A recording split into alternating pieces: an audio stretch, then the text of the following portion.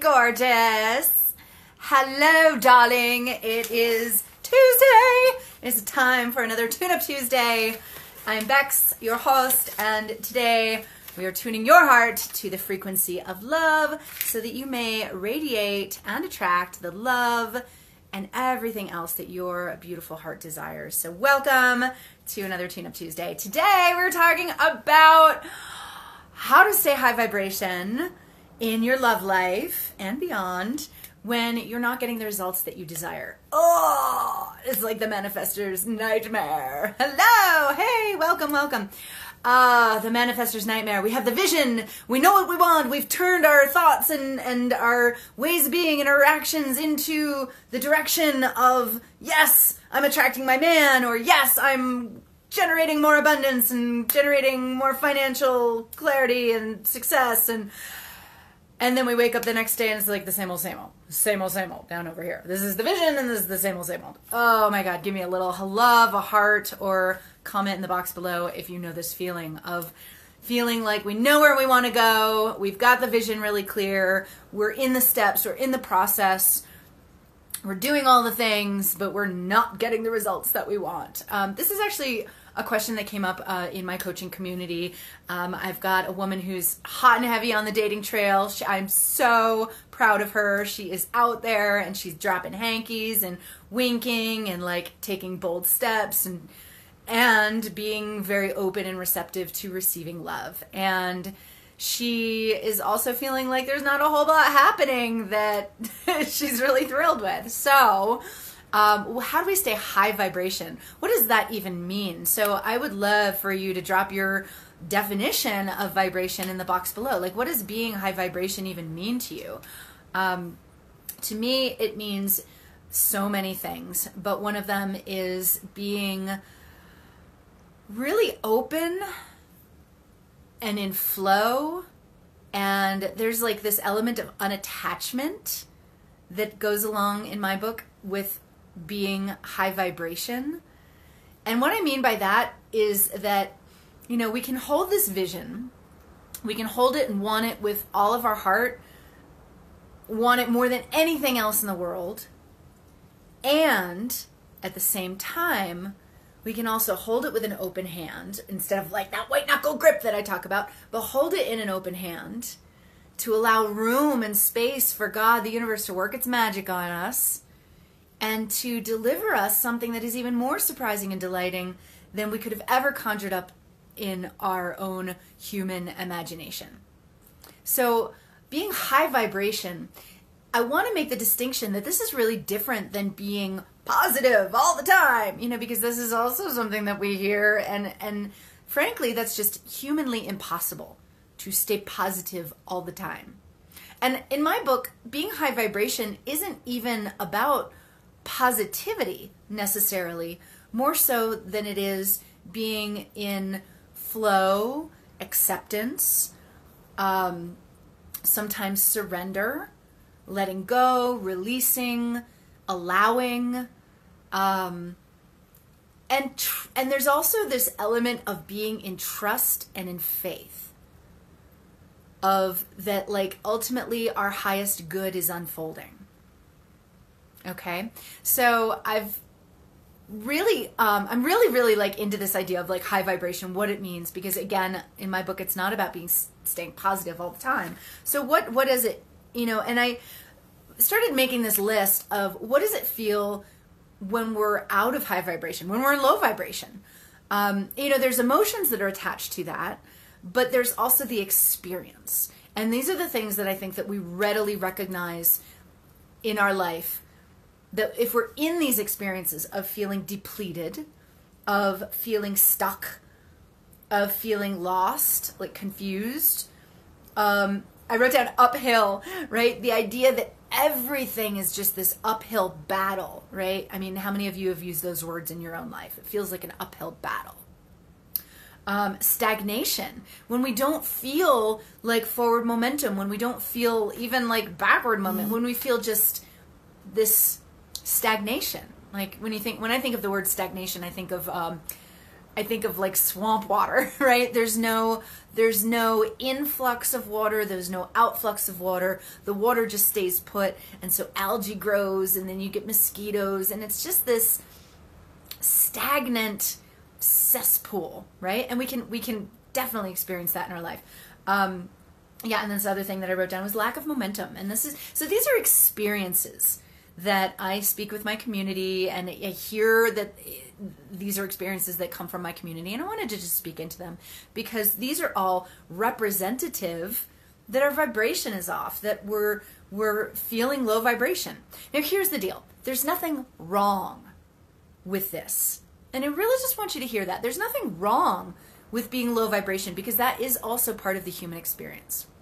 At the same time, when we're in high vibration, it's my belief that we're closer to God, we're closer to um, source, creation, we're closer to our own divinity, we're closer to our own creative capacity and our own ability to create what we desire in our life.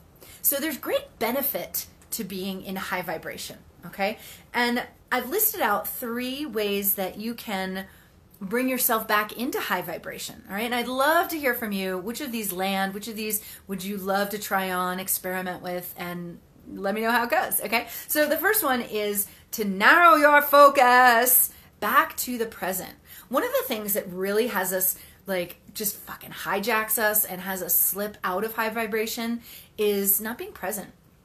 And what does that look like? It means it, it looks like when we're we're worried about the future or when we're reliving or ruminating over the past, right? And these are two major sources of worry, fear, anxiety, all out low vibration experiences, low vibration emotions. So if you're noticing that you're really like hanging out in the future and really like tripped up over am i doing it right? Am i going to fuck up my future? Is this is what i'm entering into right now is that going to have a cascade of like blah blah blah and like really close the door on opportunity? Or like whatever your freight train brain is going full speed ahead towards this is pulling you out of high vibration. Same thing with the past. Should i have done that what if I, what if, the what if game is a slippery slope, my friend. Um, but what if and and and should I have or you know these questions of like the what if is like the biggest mm. one. It's like this gravitational black hole pulling it out of high vibration. So step 1 or one step of of 3 these are not necessarily linear, but narrow your focus, come back to the present moment.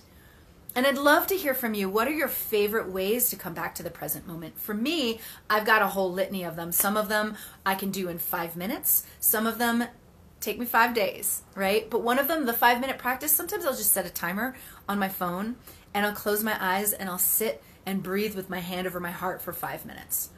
Literally. And I'll notice what I'm thinking. I'll notice what thoughts coming up. I know I'll notice if I'm getting pulled back into the future or if I'm getting pulled back into the past and I'll love myself through it. And I'll be like, oh, look at that. There I go again. That is a slippery slope. What? And here's my breath again, and here's my heart, and ooh, I can feel my heartbeat. So bring it back to now your focus, bring it back to the present moment. All right. Again, um, the present moment is uh, what I believe is where all things are possible. The present moment is rich with abundance. The present moment is rich with gratitude, the possibility for gratitude, the possibility to come back to faith. The present moment is rich with synchronicity. I was out on a walk yesterday. I was leaving a message for a friend, and I literally was having this moment of gratitude in communicating with my friend. And I was speaking about a friend who had passed away. And I looked up and in that moment, I saw a great blue heron fly across the sky, and it was like, ah. I mean, great blue herons, big birds, birds of any kind, really are uh, just signs and symbols of the universe for me. So for me, that was just an affirmation, a reward, uh, an abundant moment of being in the present.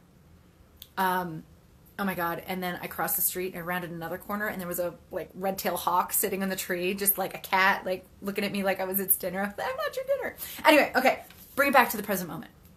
Okay? Um, oh, God, this next one is huge, huge. Check your priorities and commitments. one of the things that like really yanks us out of high vibration is when we're doing things out of obligation or other questionable motivations. Like, I'll tell you, I am a recovering queen of FOMO, right? FOMO, you know, the fear of missing out. So, how many of you out there have said yes when you really wanted to say no to something? But you said yes because you wanted to be in the room, or you wanted to be with that group of people, or you wanted to look good, or, or this, that, the other, or you didn't want to miss the experience, or uh, there was anxiety about missing out, when really what you needed was something totally different. Okay, so check your priorities and commitments is really just an invitation for you to check your motivations for saying yes. Check your motivations for saying no. Check your motivations for doing the things that you do. And are they in alignment with what you hold dear in your life, with what you are working on creating, with what you are creating in your life? Are they in alignment?